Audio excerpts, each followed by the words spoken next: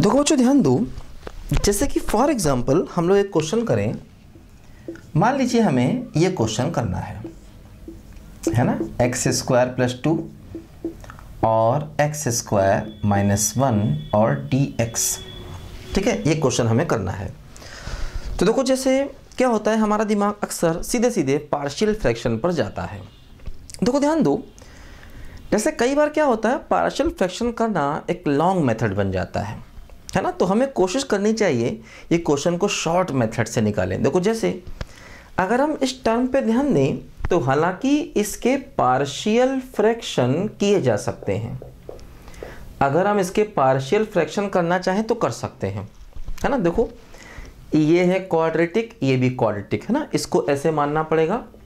ये हो जाएगा a x plus b upon x square plus two और देखो, ये हो जाएगा c x plus d upon x square minus one है ना?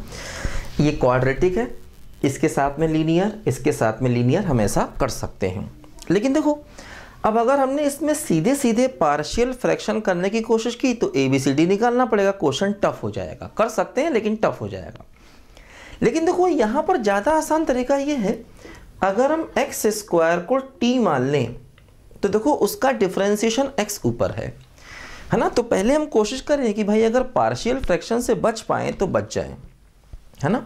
एक्स स्क्वायर को अगर हम टी मान लें, देखो, उसका डिफ्रेंसिएशन न्यूमेटर में एक्स है तो इससे क्या होगा कि हम क्वेश्चन को थोड़ा आसानी से कर पाएँगे। देखो इसका करें? डिफ्रेंसिएशन टू एक्स बराबर d t by d x देखो, ये एक्स डी एक्स की वैल्यू हो गई डी टी बाई टू ठीक है? देखो ये हो गया इंटीग्रल वन अपॉन, देखो एक्स स्क्वायर को टी माना तो टी प्लस टू और टी माइनस वन और देखो एक्स डी एक्स हो गया डी टी बाई टू ध्यान दो। ठीक है? अब देखो यहाँ पर, अगर हम इसको देखें तो इसको हम आसानी से कर सकते हैं। ठीक है, देखो, ये one by two integration one upon t plus two और t माइनस वन और टी ठीक है, ऐसा है। अब देखो, इसके पार्शियल फ्रैक्शन करना काफ़ी इजी है। है ना? देखो, जैसे ये है ना?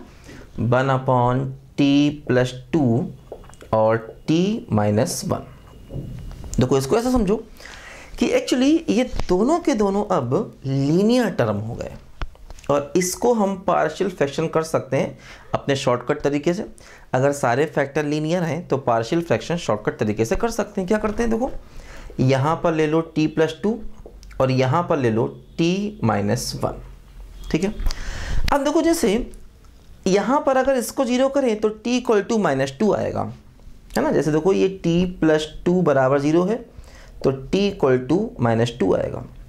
ये t equal to minus two इसमें रख दो, इसको छोड़कर तो क्या होगा? वन अपॉन है ना?